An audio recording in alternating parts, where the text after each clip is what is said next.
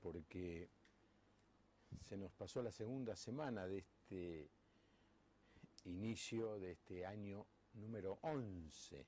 ¿Qué le parece?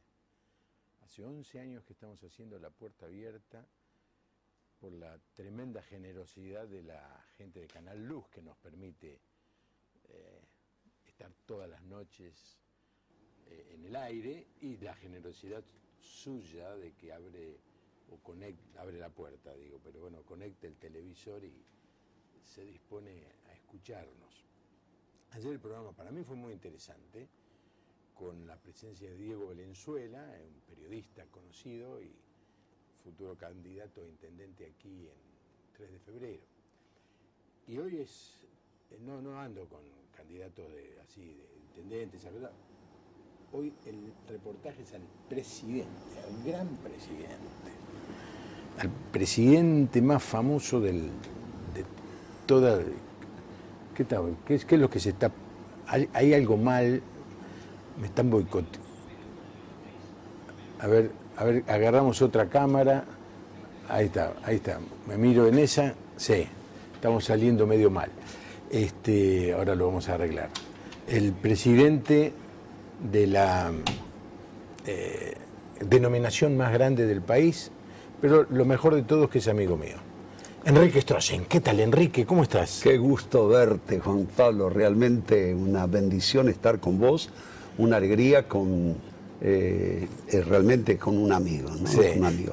Sabes que tantas, tantas veces digo, hoy lo llamo, hoy vamos a comer algo, Vamos a vamos algo. acá. Estoy a dieta ahora, pero no importa. Por eso te vi y dije, está más flaco que la otra vez. ¿no? Sí, y gracias. eh, realmente una alegría, che, una alegría. ¿Y Realmente. qué, qué pasó con la otra vez que viniste y Uh, fui- estuviste diciendo que, éramos, que eras de San Lorenzo? Yo jamás voy a decir eso, pero... Claro, bueno, eh, te digo que de los santos, ¿no? de los santos. sí. La palabra, yo te dije la otra vez que la palabra dice sed santo como yo soy santo. Basta, basta, No, de, ese, basta de ese tema. ¿Pero Eh, alguien, pero- alguien- te vio? ¿Alguien te escuchó, che? Uh, no, nos vieron por todos lados, desde Formosa, Salta, Chaco, Santa Fe, Rosario, Sí. hasta en la casa del vicepresidente de Mario Astellano, eh, dice Amanda por ahí le dice, Mario, mira, mira quién está en la tele, dice, está Enrique, ¿no? con Juan Pablo. Así que a todos los que nos ven, un saludo, un saludo, un abrazo para los amigos. Realmente eh, cuando la secretaria aquí, ¿cómo es que se llama? Vicky. Eh, Vicky me llamó, eh, estuvimos ahí mirando que, porque no es fácil eh, No, no. ubicar el tiempo, pero aquí estamos. eh. ¿Qué es para vos la amistad? ¿Qué son para vos los amigos? Y los amigos eh, son aquellos que los tenés justamente en los momentos cuando, eh, cuando las papas queman, eh, porque, mira, eh, yo doy gracias a Dios por, eh, eh, por la cantidad de gente que tengo en la iglesia y nosotros, eh, al tener más o menos mil personas, trabajamos en grupos. ¿Y qué le llamamos células? No, Sí, sí, no sí. somos unas iglesias células, pero tenemos células. Y justamente en los momentos de enfermedad, en los momentos cuando la situación está brava, eh, miran, eh, yo tengo un director de coro tremendo, David eh, Albarracín, y eh, la esposa de él está, eh, tiene un problema físico. Y me encanta ver los hermanos, especialmente las hermanas, ¿no? cómo están dispuestas a ayudar sin que vos le tengas que decir. No, claro. Porque claro. eso es lo que hace el amigo. Claro. Porque una cosa es cuando vos le tenés que decir, pero el amigo dice, yo lo hago aunque nadie me lo diga. Eh, vos, en lo personal, ¿tuviste necesidad alguna vez de recurrir a los amigos? Sí, sí, sí, sí. Porque vos sos un tipo poderoso, presidente, sí. Alemán. bueno, no, no, no es fácil, no es fácil en la posición que tengo poder recurrir a personas y abrir el corazón. Sí. No es fácil. Te lo, lo digo públicamente. No, no, me pasa igual pero a mí. me pasa eh, igual no a es fácil porque eh, todo el mundo que está trabajando con vos eh, siempre cuando tiene alguna necesidad sabe, bueno, apunto para arriba. Tengo alguien con quien ir, con quien orar, con quien llorar, eh, derramar mi corazón en la presencia del Señor, pero con mi, eh, con mi líder también. Pero cuando un líder... ¿no? estamos allá arriba, se nos hace difícil. Se te hace difícil, se te hace difícil. Pero igual es necesario tener. Sí, sí, sí. No, yo doy gracias eh, al Señor por el consejo que tengo con el cual puedo estar eh, buscando de Dios y charlar todas las cosas que tal vez con otras personas no las puedes hablar. Mm. Y también tu esposa, mm. ¿Qué? ¿Dijiste que amenazaste que le ibas a traer? Sí, eh, realmente íbamos eh, a venir, pero no, no se dio. No, se, dio. Ya con eh, casi, ella también ya apunta a los 70, viste, ya no es tan fácil la movilización y las actividades. La flaca sí, como presidenta de, nacional de las damas, y eh, anda, mira, tuvo un congreso la otra vez en Mar del Plata impresionante, ahora va a una cumbre a Córdoba y ya está planificando todo para septiembre, o sea que eh, si hay alguien que planifica, es ella. ahora, ¿ella vio el programa, Che? Eh, un poco por internet, ah. sí, porque allá no tenemos... sí, ¿te criticó mucho? No, no, me da con todo. Porque lo que no sabe la audiencia es que uno de los problemas más grandes que tenemos los pastores son los momentos cuando nuestra esposa, con toda libertad y con toda confianza, nos dice lo que piensa del, sermón que acabamos de predicar, del anuncio que acabamos de hacer, del programa que terminamos de, producir. Pero vos sabés que eh, mi esposa ella tuvo la bendición de estar en un instituto bíblico, le llamamos nosotros, en eh, Loma de Zamora. Claro, el Río de la Plata. El Río de la Plata. Y había una eh, pastora de edad en aquellos días, y bien bíblico, viste, que dice que las ancianas estén eh, enseñando a las jóvenes. Y ella le dijo algo, porque me acuerdo de esto, me lo dije unas cuantas que hoy en día son pastoras de eh, de influencia o de envergadura. ¿no? Y ella dijo, chicas, aprendan esto, y esto se lo quiero decir a todas las pastoras y a todas las esposas de líderes, cuando terminó de ministrar y que está allí exhausto, o, pero esto no solamente para los pastores, para todos. Cuando, cuando terminás de presentar algo, de ministrar algo, y que vengan y te pasen ahí la lima, es lo peor. Sí, qué lástima, mi señora no. fue ese seminario. no, no, no, no, no, digo, uy, se, va a enojar, se va a enojar porque no, no ve el programa, mi señora, pero la llaman por teléfono y le dice, este, y le dijo, mira, porque ahí está como un trapo de piso, viste, exprimido, ¿no? Espera, deja pasar un día, deja pasar dos días y entonces eh, eh, podés estar... Eh, tratando de ser sabio. Y también eh, para ella, ¿viste? Para ella, ¿no es cierto? Cuando nosotros tenemos, cuando se juntan todas las mujeres allá en Ballesteros, ¿sabes lo que es? Hay que estar ahí, hay que aguantarla, ¿no? Y eh, yo veo también cosas que yo diría Pero mira, ella tiene que ministrar en Córdoba. Y mira lo, lindo que es trabajar juntos. Y antes de salir estábamos charlando y me dice, ¿te acordás que hace años predicaste de Ana? Dice no lo tenés en tus archivos. Mira, qué, lindo, ¿no? O sea que ella, la abuela, se acordaba, ¿no? Mi esposa se acordaba y me dijo, eh, fíjate después si podés, eh, tráemelo. Y, y esto recién va a tener que administrar dentro de un mes, eh, pero ya está, ya está preparándose. Está preparándose. Déjame que dé los teléfonos, Enrique. 45686667 es el teléfono en el que vamos a recibir sus llamados. Y el 1560 41. El primer teléfono ese que está figurando allí, no, no, no, no, el primero, bórrenlo, no, no funciona más. Eh, ¿Y ese cuál es? No, mensaje de texto, sáquenlo. Sí, es ese, el mensaje de texto déjenlo, pero es un celular. Es eh, 156041 3585. Ah, este, ahí, ahí, ahí, ahí me gusta más, lo que está en la pantalla. Es un celular en Buenos Aires, Supongo que la gente del interior le tiene que poner el 011, adelante. Sí, sí, 6041-3585 para recibir mensajes de texto. Mi amigo, el pastor Enrique Strossen, con el que en el pasado hicimos muchos programas de radio, porque yo trabajaba para Radio Transmundial y el estudio de Radio Transmundial en la década del 80 estaba muy cerca de, Sí. de tu casa. Sí, sí. Así que lo invitamos y hacíamos y hablábamos. Hicimos, me acuerdo, programas y Sí, sí. programas. Eh, Una vez, si no recuerdo mal, hicimos un día siete programas. Sí, sí, sí. Sí, sea, Eh, Enrique, eh, vos sos alemán. Contame otra vez. No, eh, mis padres vinieron de, o sea, somos de origen alemán, pero vinieron a la Argentina en 1937. ¿no? Y Argentina fue enriquecida cuando yo nací en el 43. Claro, sí, sí. bueno, es Ahí- un año que queda ahí. Sí, queda para la historia. Para el, el 43. O sea que tus padres no estuvieron en la guerra. No, Vinieron no, dos años antes zafaron. que empezaron. No, zafaron. Estuvieron la Primera Guerra, sí. Ajá. La Primera Guerra, sí. Y eh, mamá de piba andaba ahí por la zona de Berlín, ¿no? papá por, eh, más por la zona de Hannover, ¿no? Eran bien norteños, bien guerreros, ¿no? O sea, por eso. Ahora, ¿vinieron porque se veían venir la guerra? ¿No les iba bien? y ¿Tenían se venía, se, aquí? se venía toda una tanda, se venía toda. eh, eh, Era una emigración muy, muy fuerte en aquellos días, ¿no es cierto? no?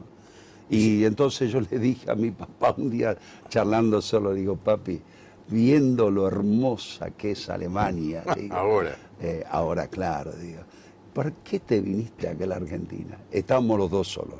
Y me miró y me dijo, pibe, no aguantaba la suegra.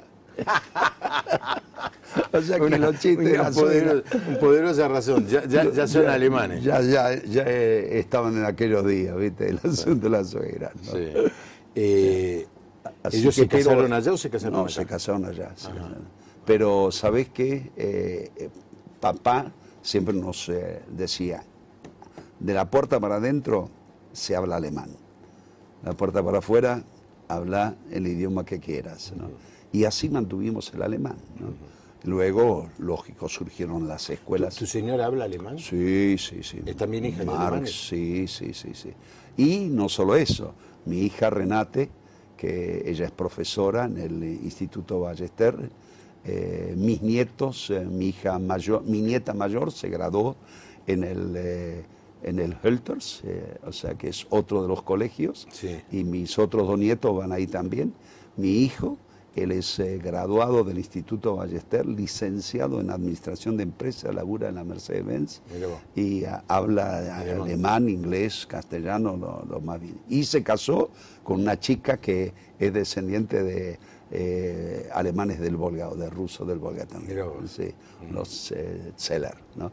Sí. Que son de la zona ahí también, de, sí, de Ahora, Boulogne. la iglesia en la que sos pastor está en una zona, Villa Ballester, donde hay muchos alemanes. Oh, muchísimo, muchísimo. Bueno, eh, nuestra iglesia ah, fue fundada en 1960. Fue algo muy lindo, porque eso es lo, lo lindo vivir los días, eh, como vos sabés, lo habrás dicho cualquier cantidad de veces, que hecho de los apóstoles no tiene amén, ¿viste? no termina camino. No, el capítulo Sí, está, está- por escribirse. nosotros estamos, eh, yo siempre proclamo Emanuel capítulo 29. ¿no? Y eh, Emanuel es el nombre de la el iglesia. nombre de la iglesia. Y un eh, eh, norteamericano vino a Villa Ballester y estuvo haciendo una campaña hice, entre los alemanes. y él vino para hacer una campaña y se convirtió en unos cuantos. Y él decía, pero esto se puede empezar una iglesia. Y él decía, pero yo me tengo que ir. Él era un líder en Estados Unidos. Y eh, así que oraba y, no- y por ahí se encuentra con un matrimonio canadiense. Y dice, ¿y vos qué estás haciendo acá? Y dice, Dios me guió para empezar una iglesia. Le dice, dice, y yo tengo un grupo con el cual podrías empezar una iglesia. Así que sin saber el uno del otro, mira lo maravilloso, ¿no? El 30 de mayo de 1960 se fundó la iglesia Emanuel, ¿no? que era todo alemán, todo alemán, ¿no? O sea que si alguien se convertía tenía que De entender. aprender alemán o buscarse otra iglesia. Sí, sí, sí, así era, ¿no? Sí. Eh, Eh, eh, los cultos eran en alemán. Era todo, todo, todo, todo. ¿Vos sabés lo que era cantar con... A ver, ¿qué vas a cantar aquella- no, el castillo fuerte. Ein feste Burg, ein feste Burg ist unser Gott. Cantaban en... Ah, te- mira, tremendo, tremendo. Los himnos, viste, los himnos que... eh, tengo ahí los himnarios en alemán que no sé qué hacer con ellos, ¿no? porque hoy en día realmente ya no, no, lo- Claro, no no los usamos más. ¿no? Pero es lógico, es lógico. Sí, sí, eh, es lógico la- eh, el- muchos alemanes se han ido a Alemania, volvieron, eh, otros se han ido a Australia, a, Le- a Canadá, a Estados Unidos, y eh, claro, pero esa gente ya era, eran entrados en días, ¿no? Si yo ahora voy a cumplir 72, imagínate, mi papá ya ahora tendría como 110 Claro, años. claro. Eran contemporáneos de tu papá, esa gente. Claro, sí, sí, sí, la mayoría. ¿Qué, ¿no? qué, qué himno te recordás de tu Oh. infancia o de tu adolescencia? Uh, en mi, eh, bueno, eh, an dem Kreuz, an dem Kreuz, o sea que en la cruz, en la cruz, eh, creo que eh, tendría, ¿en qué lo tocas? ¿En qué lo tocas ahí? No, te lo bajé, te lo bajé. Me lo dale. hace, ya. Eh, an dem Kreuz, an dem Kreuz, bracht der Morgen mir an, und des Sünders Auge ward aufgetan. Denn im Herze ließ ich den Heiland ein. Hosiana, nun ist der Friede mein. Ahora, a nosotros el alemán nos resulta duro. Duro, sí, Sí, muy cortante, unas consonantes. Sí. Pero para vos, ¿es dulce? ¿Vos le Para mí yo la encuentro, sí, la encuentro. No, no. Para mí más duro es el ruso. Bueno, sí, sí, sí. Una vez en el 60 intenté estudiar el ruso para ir a predicar allá y, y lo colgué los guantes, colgué los guantes. Me había, había comprado un libro, todo, pero no, Ah, es muy no, difícil. Es muy difícil, ¿no? Pero el alemán es eh, duro, sí. Eh, me acuerdo que me cargaban algunos cuando me escuchaban alemán y eh, hablaban alemán y decía, le dijo la esposa que la quiere. Y, eh, pero parecía que yo estaba retando. Ahora hablas inglés también. Sí, Sí, sí, claro. sí. Bueno, el otro día cené en, en Santa Fe con un gran amigo nuestro, Daniel Altare. ¡Oh! Espero que le Daniel, dije. qué gustazo. Le qué dije que, gustazo. que íbamos a estar haciendo el programa. Con el groncho. No lo contamos esa historia, ¿no? Esa historia, ¿no? no te, te acordás que. Qué cosa intri- Es un- una anécdota muy divertida. Muy divertida. No, del año vamos- 83. Sí, del año 83. Pero va- vamos, vamos al tema. Eh, te quería proponer, este, Enrique, eh, una de las cosas que Canal Luz eh, sorprendentemente alcanza, uno de los grupos al que alcanza, es gente que se ha desanimado de la iglesia y se ha ido. Mm, Gente que, que no sabe bien o si sabe, por supuesto no nos lo va a contar, pero un día dejó de asistir a una iglesia, ¿viste? Y, y sucede en Villa Ballester y sucede en, en todos lados, ¿no? Y yo soy recurrente con este tema, ¿sabes por qué? Le pregunto a los pastores que vienen, porque a mí me, me- me preocupa y mucho este, este, que haya tantos cristianos o que fueron cristianos o que fueron evangélicos o que trabajaron en alguna iglesia y que anden perdidos, sin, sin familia, solos. Y, y- y lo- el año pasado, cuando estaba terminando el año, vine Pal- vino Palau y le, le dije, Luis, ¿qué, les dirías? Y él, le- les dijo algo. Y, yo tengo la esperanza de que tanto machacar sobre, sobre ese tema, a- alguno que está viendo el programa, que se ha alejado, que se ha enfriado, este, reciba algo y vuelva, ¿no? mm. Este, ¿Alguna vez estuviste apartado? Yo no. No. Gracias a Dios. No, yo, yo tampoco. Gracias Pero pasar por momentos de Oh. prueba, de duda, Sí. Esas montones, ¿no? Bueno, de duda no, de No. prueba sí, de, Sí. duda, de duda no. ¿no?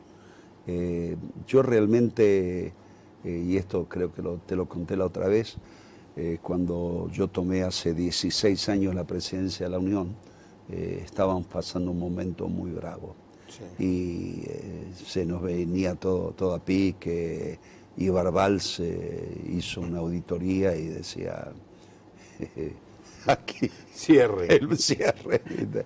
Y entonces, eh, claro, un día me puse a orar y eh, fue como que el Señor me habló, viste, eso que no es que escuché una voz o una revelación, pero fue como que el Señor me dijo, trataste ya para todos lados, pero ¿por qué no me empezabas a buscar a mí?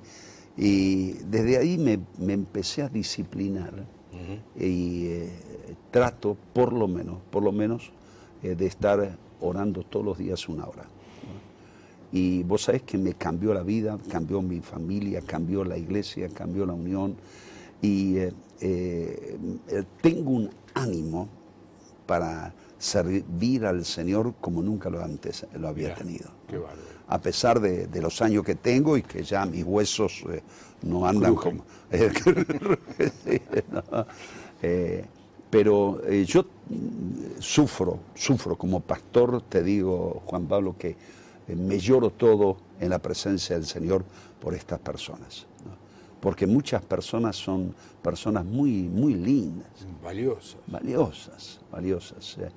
Y eh, bueno, le encontré algunas respuestas, que algunas son, son duras, pero que yo hablo con la gente y le hablo bien francamente, como, como creo como un profeta de Dios que creo que hoy en día muchas veces eh, falta porque eh, en parte, no digo todos, en parte muchos predicadores han predicado un evangelio muy laico solamente las ofertas. y una de las cosas que yo veo, que la gente no se compromete, no se compromete.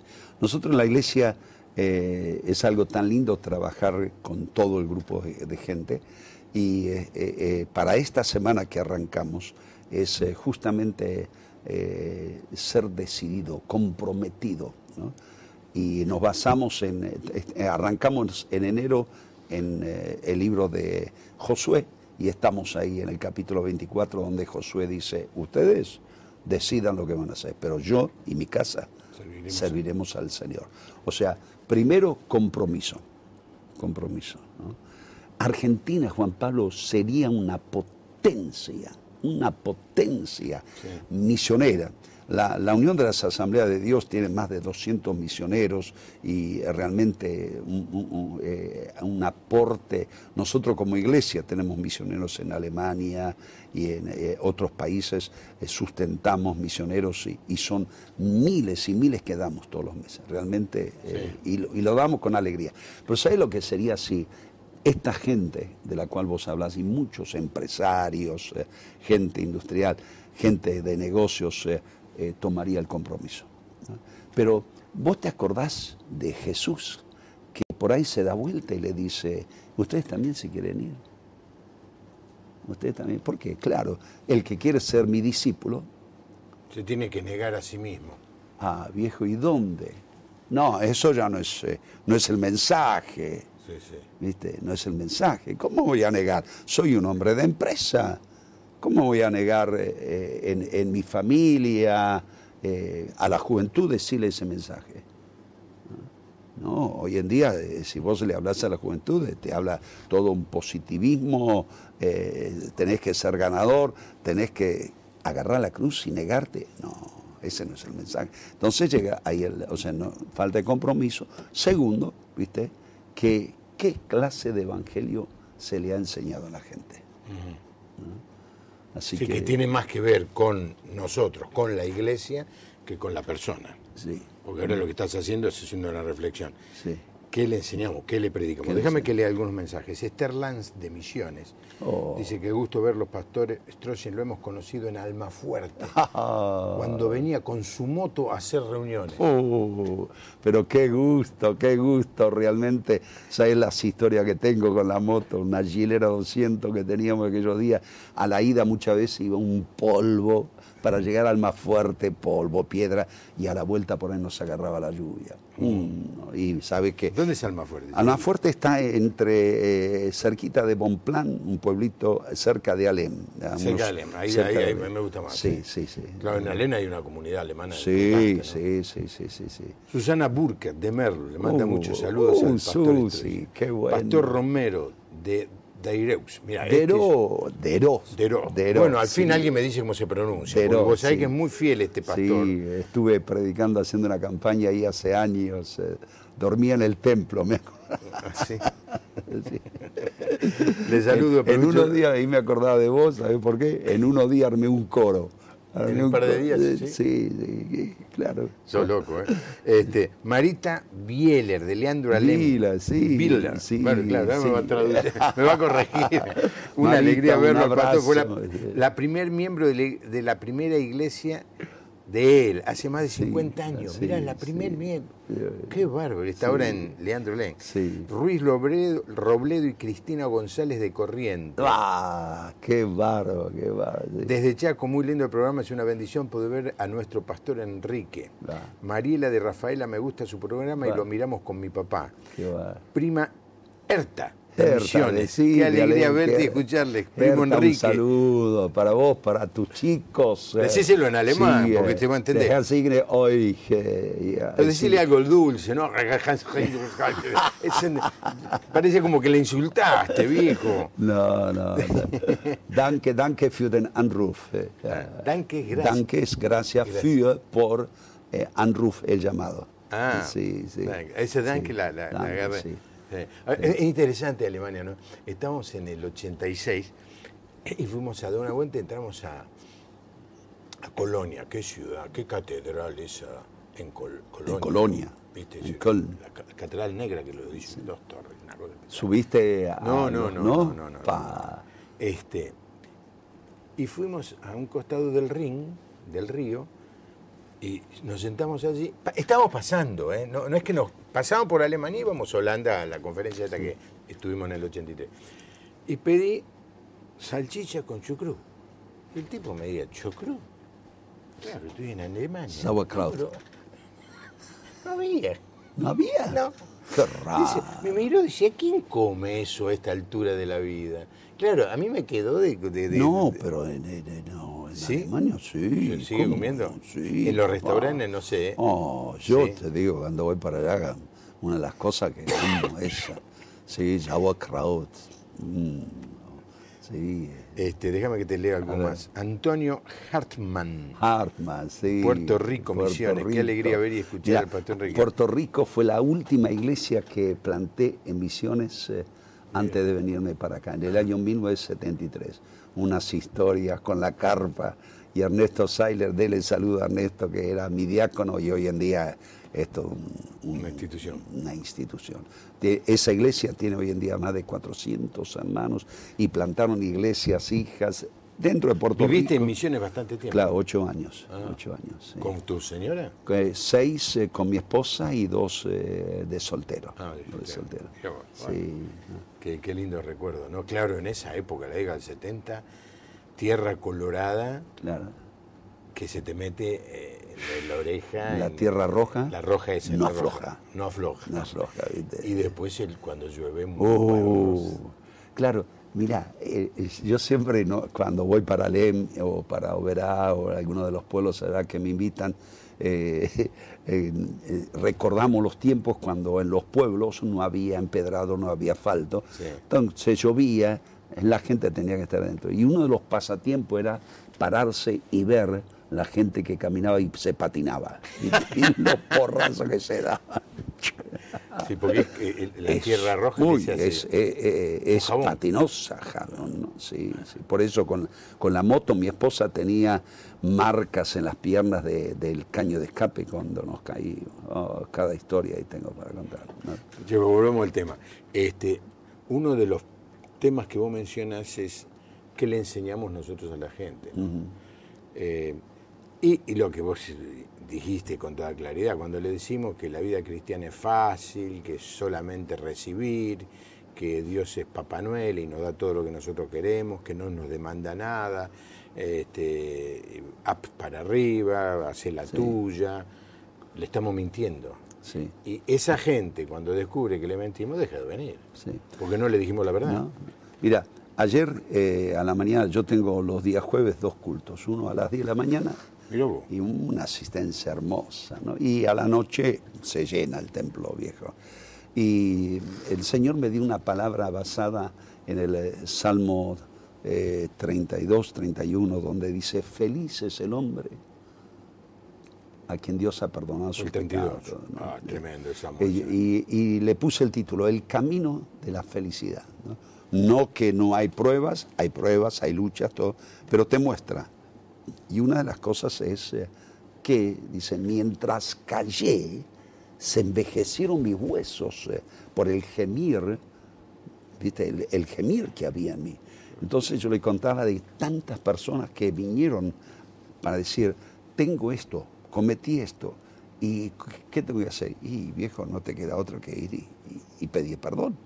Y eh, personas, hombres, mujeres, jóvenes que vinieron. Y la victoria que tuvieron aquellos que dijeron, es verdad, metí la pata, tengo que ir y arreglarlo. Pero aquello que no, pero hoy en día no se le puede llamar pecado esto. ¿Sabes qué? Se alejaron. Se alejaron. ¿Por qué?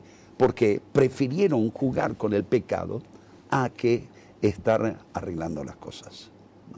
Y ese es otro motivo. Ese es otro motivo por el cual hay personas que eh, vos les hablas y te dicen, no, pero yo vi esto, vi aquello. Mira, una vez eh, sube un pastor a un colectivo, se sienta y le dice el tipo que está al lado ¿usted es el pastor fulano? Sí, sí. Dice, yo conozco su iglesia, dice. dice, ¿te sabe lo que tiene ahí adentro? y el pastor dice, usted tiene este. Y el pastor dijo, ¿sabes por qué están ahí adentro? Porque buscan la ayuda de Dios. La ayuda de Dios. A mí me lo dijo uno también ahí en Ballester. Dice, yo no vengo porque está, eh, usted no sabe lo que tiene ahí adentro. Yo dije, gracias que están acá, porque si no estarían acá, serían peor todavía. Serían peor todavía.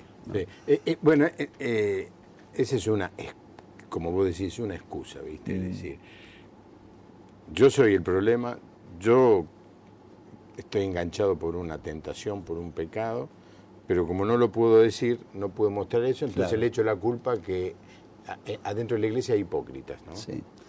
¿Sabéis, Juan Pablo? Y creo que a vos te pasará eh, yo pastoreo Emanuel eh, ahora en esta segunda etapa eh, desde el año 76. Imagínate, ya estamos ahora en 2005, 2015. 40 años. 40 años, ¿no? he visto, he tenido la bendición de estar bendiciendo matrimonios que hoy en día ya tienen sus nietos que están noviando, ¿no? Que están noviando. Entonces, eh, hay una, eh, una frase que últimamente me impactó en el Salmo 93, versículo 5, dice que la santidad le conviene a la casa de Dios. Y yo veo la gran diferencia, mis amigos del barrio, porque yo me crié en Ballester, que me dijeron, no, no, no, yo sigo mi camino solo. Y aquellas familias que la pelearon, que educaron a sus hijos en el camino del Señor, hoy en día, ¿sabes que la mayoría de esos chicos estudiaron en la universidad y que están triunfando en la vida? Y yo pienso en los, chicos míos y vos también los tuyos. Viste, mis viejos, eh, papá apenas que podías, eh, podía leer, mamá un poquito más, eh, pero hoy mis hijos, los dos son profesionales. ¿Y por qué? Y creo que es la gran bendición del Evangelio, que no solamente te da la seguridad de la vida eterna, sino la ayuda en todas las cosas de la vida. Y entre ellas la prosperidad. que ni la predicamos ni la anunciamos, pero la vivimos. No, eh, la verdadera prosperidad, dice el Salmo 1, y todo lo que hace prosperará. Josué 1 también. Claro. Sí, o sea que... Eh, eh, y lo que pasa es que la gente quiere, a ver, lo que quiere es el, el, jugo de naranja instantáneo, ¿viste? Mm. ¿Para qué vas a exprimir si hay un... Sí. Agarras un frasco, haces así ya está. Mm. Pero no es lo mismo. No, no, no es lo mismo. Esto es químico, son, productos químicos que tienen gusto a naranja, pero no son naranja. Y hay mucha pereza Ah, bueno, ahí está la otra cosa que yo te iba a tocar. Dale. La disciplina. La disciplina. Eh, en todas las áreas de la vida, si vos querés lograr algo, tenés que ser disciplinado. Sí. Ahora, Te pregunto, Juan Pablo, vos que sos predicador de la palabra, ¿la Argentina conoce la Biblia? No. No. no. Mira, mi pibe salía un día del colegio en un recreo con toda la barra y estaban los gedeones. Qué lindo trabajo de los gedeones. Y a cada uno le dio un, un Nuevo Testamento. ¿no? Claro, volvían todos Nuevo Testamento al aula. Claro, ellos sabían quién era Matías y pues, me conocen a mí, también el testimonio de él. Y entonces le pregunta a uno, Matías, ¿qué hago con esta? Y dijo una palabrota que nosotros no usamos. Y, eh, o sea que el pibe no sabía nada de la palabra del Señor. Y si vos hablas con, con los chicos en la calle, te hablarán de computadora, de, internet, de todas las eh, eh, formas que se pueden comunicar, pero no de cómo se pueden comunicar con Dios.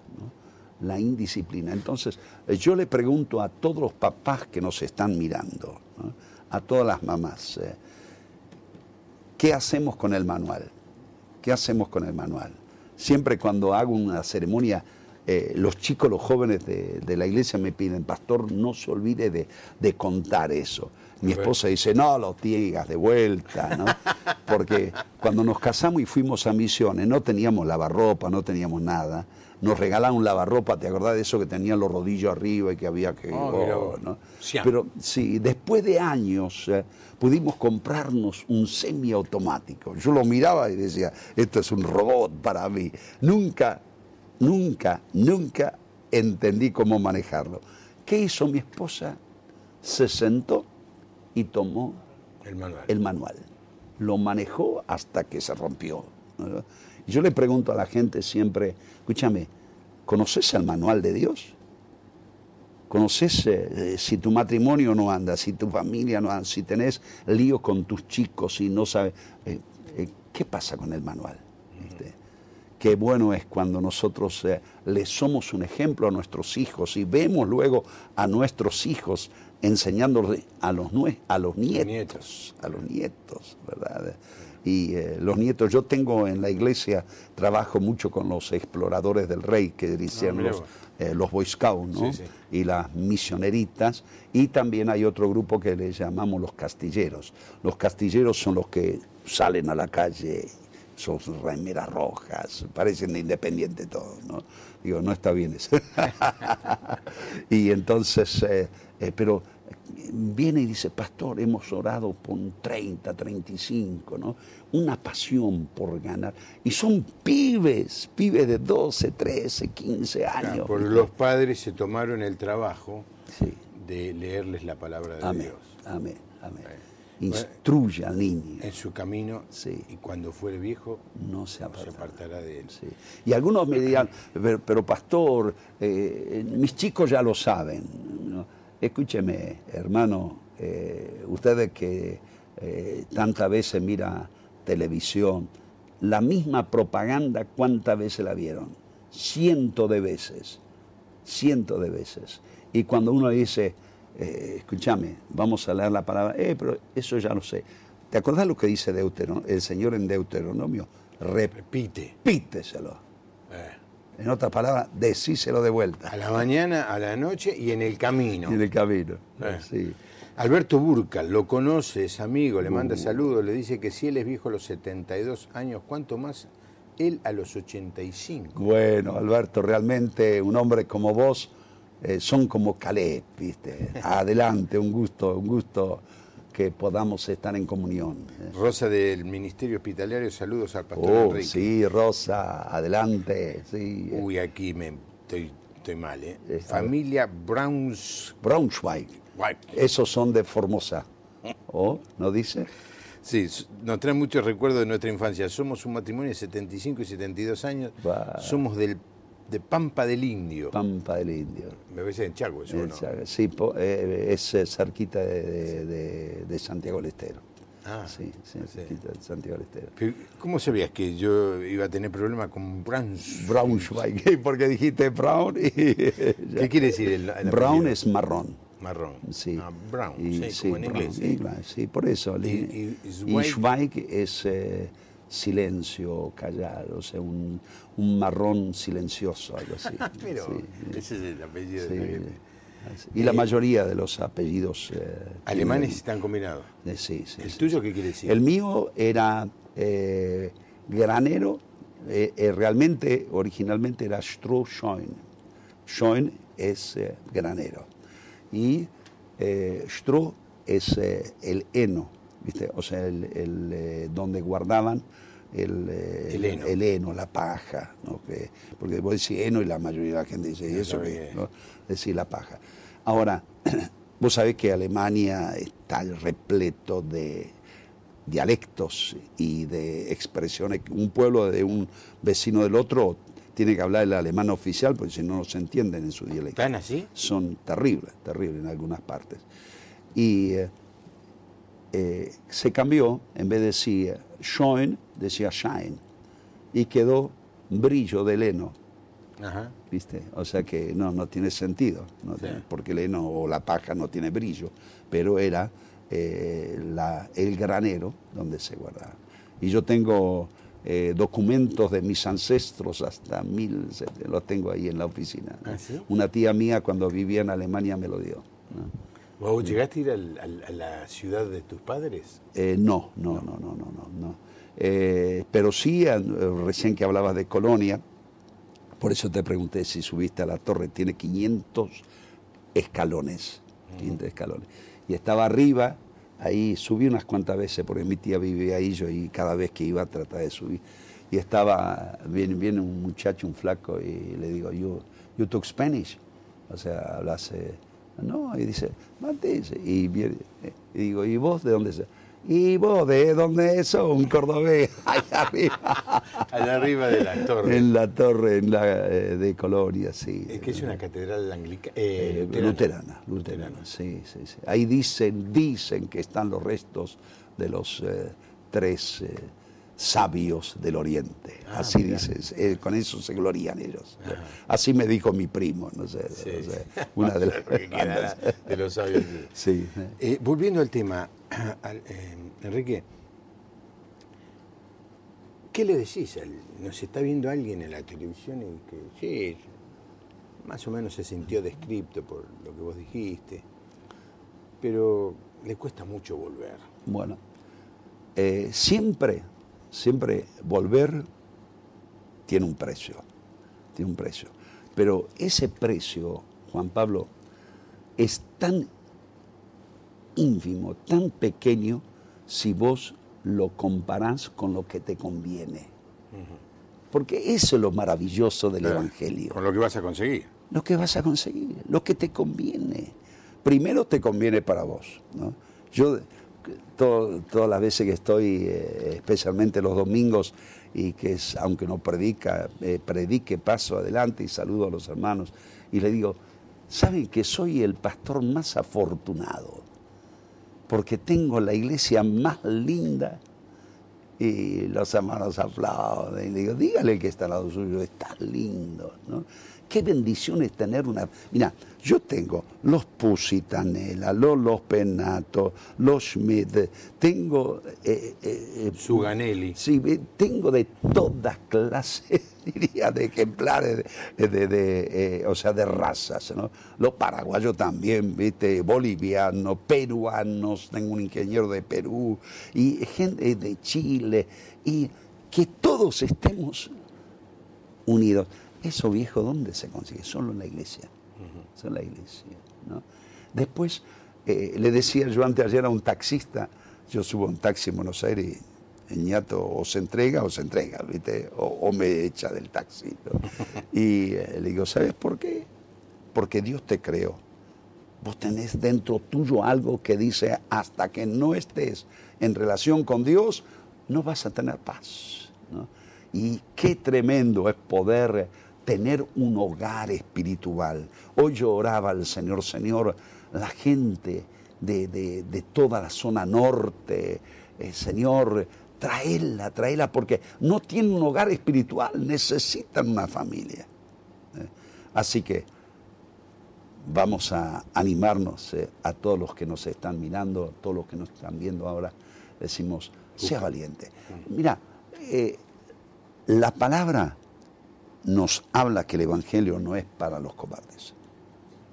El Evangelio es para los valientes. Tres veces, en cuatro versículos, te dice, mira que te mando que te fuerces y seas valiente. Y seas valiente, y seas valiente. La gran diferencia que el Espíritu Santo está, y Dios no nos dio espíritu de cobardía, ni de temor, sino de poder, amor y dominio propio.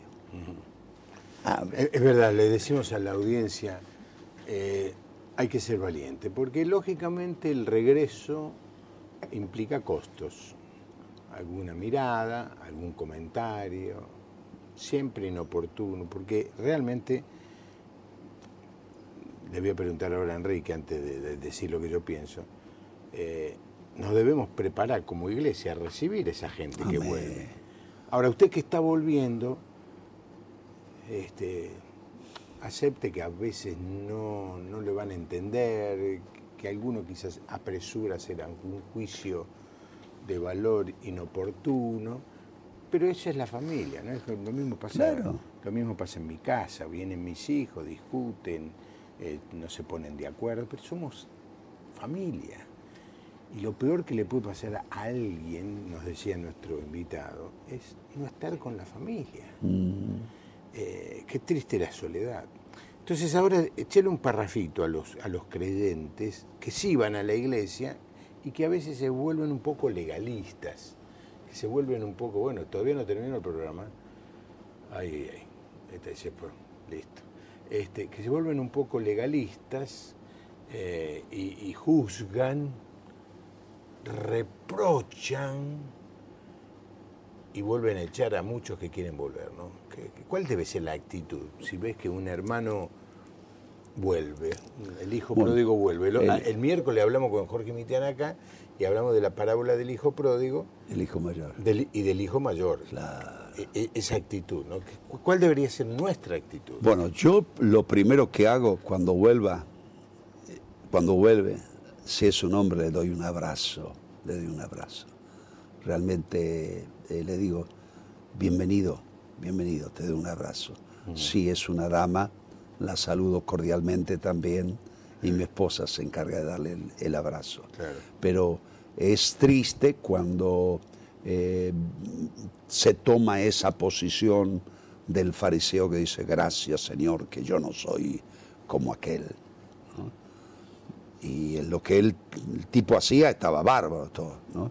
Pero la actitud que él tenía no era la buena. Por eso los hermanos que nos ven eh, queremos decirle en esta hora, eh, la gente muchas veces ha sido golpeada, golpeada y dentro de la iglesia. Y qué lindo es eh, de poder atenderlos. Yo atiendo a la gente personalmente. Hay pastores que ya no lo harán, no sé cómo lo hacen. yo salgo a la puerta y saludo a todos. Saludo a todos, sí. Saludo a todos y eh, ahí, eh, si ellos necesitan charlar conmigo, eh, yo puedo estar diciéndoles tal momento, sea lunes, sea el martes, ¿no? Nosotros tenemos el Instituto Bíblico, mi esposa es la directora, la mejor directora que el Instituto Bíblico el mejor que puede haber, ¿viste? ¿no? Por eso soy el pastor. Claro, claro. La iglesia es la mejor. La mejor Modestamente, ¿no? Eh, entonces mi esposa viene y atiende eh, las cosas del instituto los lunes, los martes, los miércoles, y yo tengo el tiempo para atender a la gente. Y lógico, delego. Y yo a mis líderes siempre les digo, ustedes me lo atienden a todos. Cuando no pueden más, Se lo mandan. me lo mandan a mí. Luis de Corrientes, dice en San Juan 4.22, 24 Dios es espíritu y los que adoren en espíritu y en verdad es necesario que adoren. Bueno, entendemos esto, no entendemos la, relación con el, tema de hoy. Ludovico de Villángela le manda saludos y que en ah. el año 68 mm. estuvo en su iglesia. Ajá, sí, sí, sí. sí. Villángela. Villángela, sí, sí. Chaco. Sí, estuvo un tiempo con nosotros y después se volvió al Chaco. Ah, sí. ah, ah ahí está. Claro, sí, sí. sí. ¿Te acordás, pero de cada miembro de la eh, iglesia? Sabés que Dios me dio una, eh, una bendición, me acuerdo los nombres, me acuerdo los nombres. ¿no?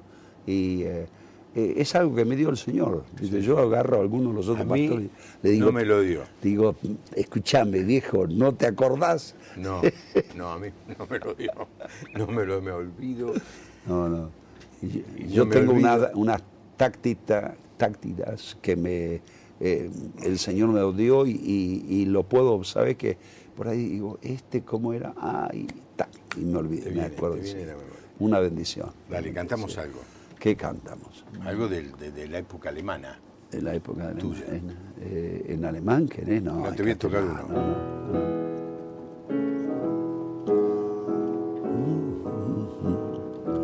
Gloria a Dios. Gloria a Dios. No, no, no, en alemán. No, no, no, no, ese no lo cantábamos en, en- en alemán. Justo el único que elijo no lo canta en alemán. Eh, toca en, eh, la, en la bemol o en sol Sí. en el Monte Calvario. Bueno, ¿Te acordás?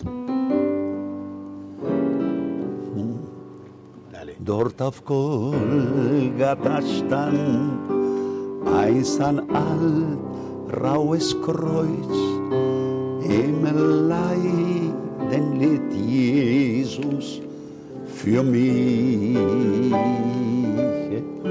Doch ich schätze das Kreuz, wo das Blut wurde vergoss. Y no me acuerdo de esa parte. Y entonces el coro decía, Doch ich achte das altraue Kreuz bis im Schatten des Glaubens eins ruht.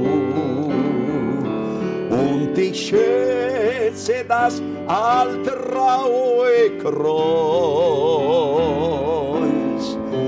bis ich eins in der Herrlichkeit bin. La letra es más o menos igual que la Sí, de español. sí, sí, sí, sí, Sí. sí. Es una canción preciosa, preciosa, realmente. Yo la escuché en el año 1950 y algo en la iglesia que ya ahora está en otra calle. En aquellos días estaba en la calle Balcarce, ahí en Villa Ballester. Hoy en día es eh, la iglesia... eh, Bautista, ¿no? No, la iglesia del Colegio Fe, de la iglesia Fe de, de- eh, bueno, de la calle Vicente López. La calle Vicente López. ¿Y, y sí. te acordás cuándo lo escuchaste? Oh, sí, una campaña y me acuerdo. Oh, el- el- y después leí el libro en el cruce de dos caminos. No sé si vos te acordás de Sí, ese sí, libro. sí, que sí. me habré hecha- me habrá hecho llorar ese libro. ¿viste? En aquellos días éramos pibitos, agarrar un libro de eso, te compenetrabas Sí, esto. ¿En las campañas de Oval Smith estuviste? De Osvaldo Smith, sí, sí, sí. el sí. Luna Park. El de Luna Park. Año 57. 57, sí. Y yo me convertí en el año 58 en eh, la campaña de Arrastía. En, Ah, mira vos. de Arrastía, sí. Mira vos. Me acuerdo siempre porque no había mucha gente que digamos, ¿no? Y yo estaba allá arriba en el Luna Park y me caminé de ahí hasta ahí. Siempre era como que el diablo me decía, pecador, ¿qué haces? Mira, se van a reír. Y es verdad, había amigos míos que, ¿no? Pero doy tantas gracias al Señor por esa decisión que tomé en aquella noche. Mira vos. Sí. Sí. A ver, eh, de, de la campaña de... En el 62 ya cantaste en el coro. Sí, vos también, Yo ¿no? también, Claro. sí, sí. sí. O sea que...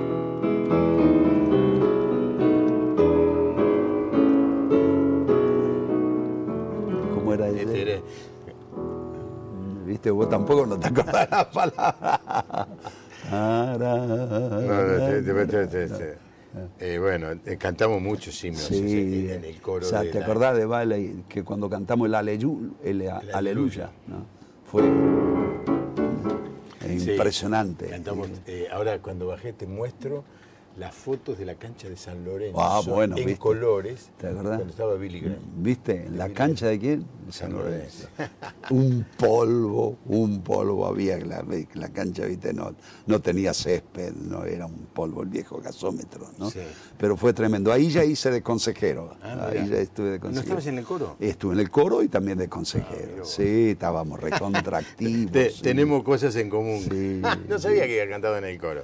Este, eh, eh, fue una cruzada maravillosa y yo le repito a toda la audiencia, quieren escuchar ese coro. El disco es, se grabó un disco, en esa época era, no era fácil. lo conseguí finalmente el disco y lo puse en una página de, se llama Mensaje, a ver si la podemos encontrar, está allí en la gráfica, mensajescristianos.com.ar. Y en esa página levanté, eh, levanté el, disco del coro de Bueno, aquí está la página de la iglesia de... no, déjenla, déjenla, por favor, déjenla, del pastor Enrique, iglesia Emanuel Ballester.org. Sí, eso. Eso es. Muy bien, muy bien. Y, si alguien quiere comunicarse, seguramente en la página debe haber algún botón de contacto para ponerse en contacto con, nuestro invitado en esta noche. Siempre es un privilegio, una alegría eh, tenerlo con, nosotros y me doy cuenta por la respuesta de, la, de los llamados y de la variedad de lugares que has tenido una vida muy fructífera. Sí, gracias a Dios, gracias a Dios. ¿Y tenemos años para adelante, Che? Y mientras el Señor eh, dé fuerza, dé gracia, tengo ahora unos viajes de vuelta por delante.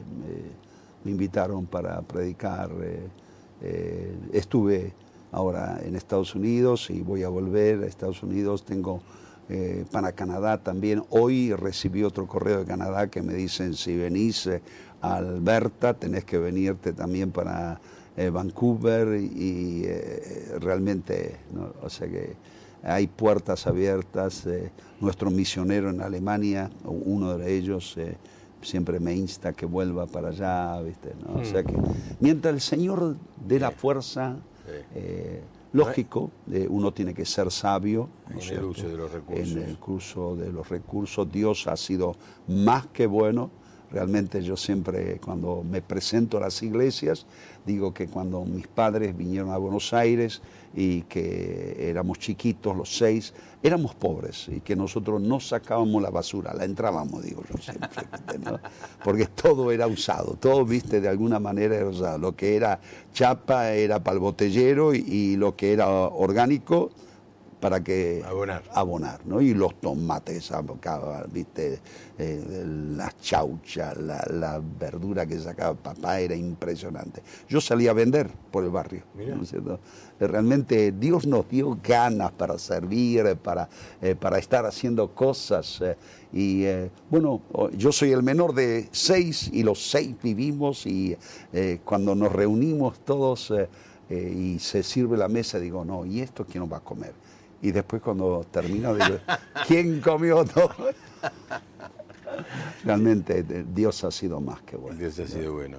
Sí. gracias Enrique por venir. Yo sé que sos una persona muy ocupada, presidís la denominación más grande del país y no es poca cosa porque debes tener un problema de, todos los colores, formas y tipos. Así que que hayas... Pero déjame terminar con esto. ¿Qué va a venir a buscar el Señor? La iglesia. La iglesia. Por eso nosotros tratamos eh, de eh, plantar iglesias, seguimos plantando iglesias todos los años en todas las provincias y eh, sabemos que hay poder en la sangre de Cristo para cambiar las vidas y que Jesús viene pronto a buscar a la iglesia. El príncipe de los pastores va a volver a buscar a la iglesia. Gracias Juan Pablo por invitarme también, gracias a, todos los eh, televidentes, le decimos un abrazo, un abrazo en Cristo Jesús. No afloje, no aflojen que el Señor viene pronto. Recuerde, la palabra dice, no somos de los que retroceden, sino de los que vamos para adelante. Chao viejo, un gusto. ¿eh? Gracias. Bueno, así nos despedimos. Eh, nos encontramos el próximo lunes, tenemos una semana muy interesante de invitados a partir del lunes, pero usted asegúrese asegúrese de ir este fin de semana a una iglesia donde enseñen la palabra de Dios. Amén. Eh, si le dan mucho regalo, mucho, mucha prosperidad, mucha sanidad, mucho... Eh, vaya a un lugar donde le digan la verdad, que la vida cristiana es difícil, que es solo para valientes, mm. eh, todo lo que nos dijo hoy nuestro invitado, pero que es la vida que vale la pena vivir. Que tenga una buena noche, que Dios le bendiga. Hasta mañana. Hasta el lunes, hasta el lunes. Thank you.